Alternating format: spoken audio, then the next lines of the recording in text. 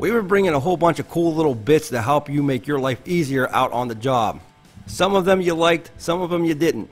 But today I got another one. I'm going to toss it in my cordless drill and hopefully show you how to get rid of a headache that you might be experiencing on the job.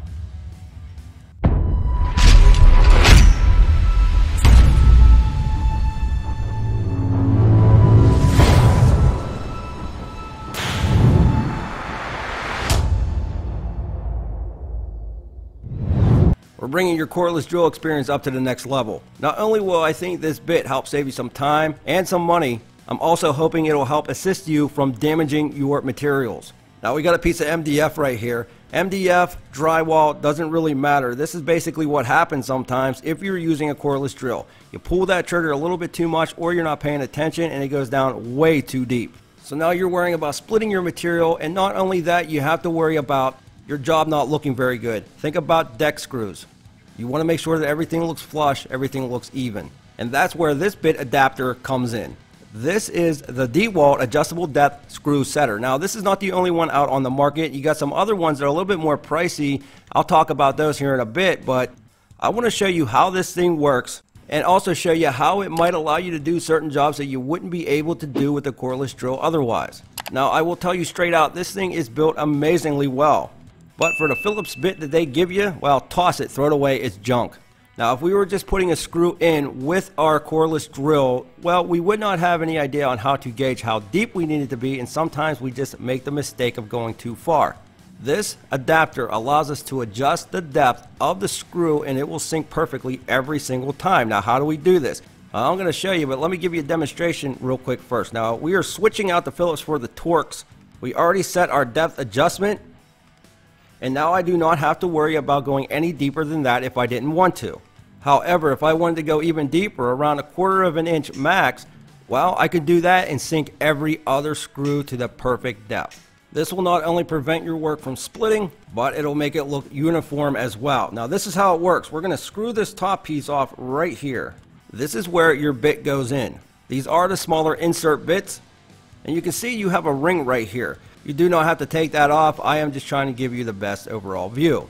Now you can put any type of insert bit into this adapter. Now I will tell you that the Milwaukee, it does get a little snug in there and hard to get in and out. The DeWalts work fine, but I found that the Makita Golds work the best. Now one of the complaints that I did have about this adapter was there was no magnetic ring in this. I had no idea why they decided not to put one in. Maybe it was a copyright type of deal, but I wish it was there. That said, with the Makita Gold, you can also run those through a magnetizer and it's ready to go. It'll do the same thing. Now we're just going to screw this back down on top like so. That is going to be our adjuster ring. Once you get that down to the position you want, you can readjust if needed to make it more precise.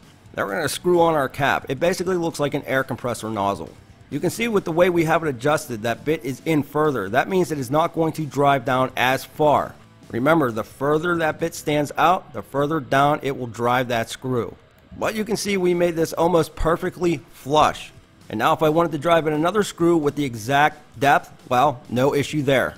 What happens is the top of this actually stops the screw from going any further. Now if I wanted to drive that in about a quarter of an inch, I can bring that all the way down and watch what happens. So the head of this adapter actually stops the screw from going down any further. Now what's nice about this is if you do not want to go out and spend a lot of money on a different type of tool such as a drywall screw gun, this would actually allow you to hang that drywall, put those screws in, sink the depth perfect every single time. Now the other ones that you can find a little bit more expensive, they have a rubber gasket out on top of it so you don't damage any of the drywall. But you can see on here, I am sinking these to the same exact depth every single time. So now what I'm going to do is I'm going to grab a bunch of different screws and then I am just going to sink them all and see what happens.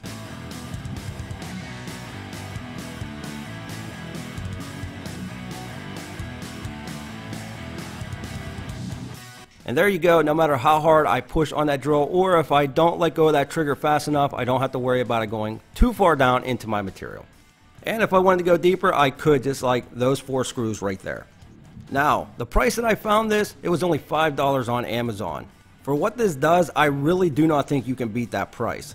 And not only will it work in your cordless drill, it will work in your impact driver as well. The one thing that I will tell you that drives me a little bit batty is the more you use it, the tighter those collets get. So if you plan on adjusting the depth a lot, then you might want to keep a pair of pliers next to you. If not, then you can use this continuously. I do like that spring on the back. It's going to prevent you from damaging your drill or your impact driver. As it goes for ease of use, really, really simple to use this, really simple to get your depth adjusted, and really simple to keep it there. I would not suggest you use the Phillips bit that comes with it. It's junk and will strip out immediately. I would also suggest that you do not use the Milwaukee because those bits are a little bit too snug and hard to get out. The Makitas, on the other hand, work very well with this attachment.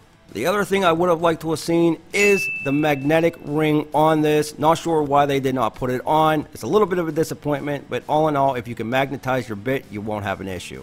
So I'm curious of what you think about this bit. Will this help you sink those screws in a lot better than what you would without them? You know, keeping that depth is really important so you don't split your wood and making everything look uniform. Would you buy this? If you have it, what do you think of it? Let me know in the comment section below. Now, don't forget to smash that like button if you like this video, if it helped you in any single way. If it hasn't helped you in any single way, don't forget to smash that like button and hit that subscribe button with the bell notification so you don't miss out on any other tools coming your way. And it'd be great to see you on the Instagram page at Tool Review Zone. With that, we'll be back with more reviews soon.